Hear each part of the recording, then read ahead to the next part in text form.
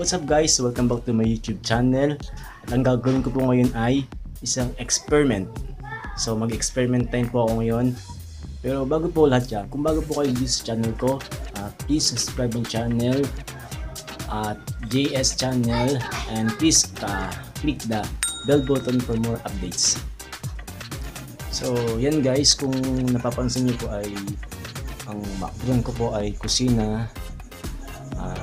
Ah, hindi po ako magluluto. Uh, diyan na po ako kukuha ng mga ah, mga mat, ah, mga sangkap o kakailanganin natin sa experiment. So, sa harapan ko po ngayon ay nandito na po yung mga sangkap. Ah, nandito po ang mantika, cooking oil, salt, o asin, gunting, para sa pagkat mamaya ng tela. Tsaka cotton, cotton na damit. And then ganito po ang gagawin nyo. Straight line. O kahit na hindi mo ano straight line basta ganito po ang tsura niya. Yan. Guys, ito pong gagawin ko ay isang parang isang tuklas. O siguro marami na po yung ah, marami na po itong nakakaalam. At siguro hindi lang po ako. Ah, sa mga datihan pa po mga mga sinuunang uh, katutubo pa natin. Mm. so hindi ko po rin alam kung meron din po to sa mga YouTube. Mga may mga YouTube channel uh, po sila ng mga ganitong experiment so sa akin lang po ay i-refresh ko lang po yung mga mga utak natin para sa mga ganitong mga experiment Un unting kaalaman lang po para sa para matutunan po natin mga mga Maganda. so tara na guys umpisa na po natin A few moments later. Yung guys, kuha nyo yung tela at isukat nyo sa may taas ng bowl. Then, ikat nyo.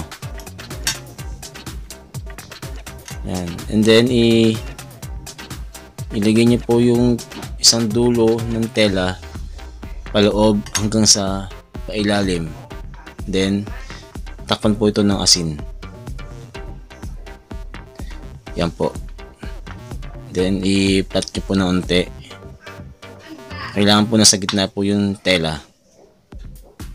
Pagkatapos po eh, busan po ito ng mantika. Yan po. Kailangan po yung mantika eh ma-absorb po natin paloob po. Yan po. Kailangan po yung mantika ay nasa papasok sa ilalim. Para buong asin po eh may mantika po. Yan po. Ayos-ayosin po natin ng konti. Yan. And then basahin din po natin yung yung dulo ng tela. Basahin po natin ng mantika. Yan guys.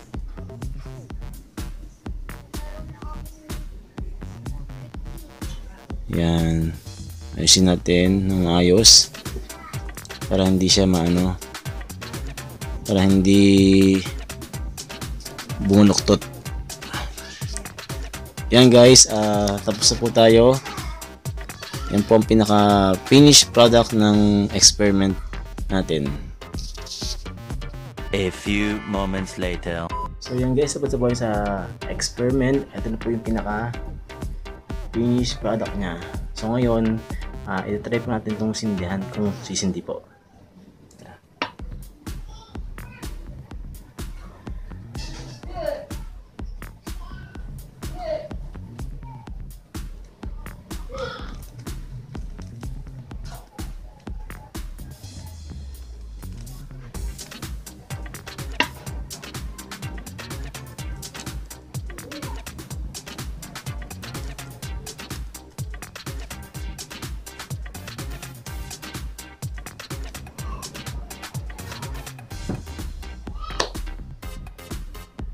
Yun guys. Ang ah kumbaga eh tawag dun sa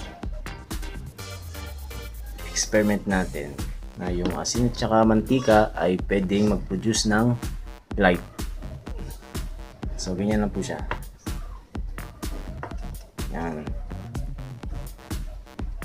Konti lang po yung ginawa ko kasi sayang naman po yung mantika at saka yung asin na gagamitin ko. So, yan po.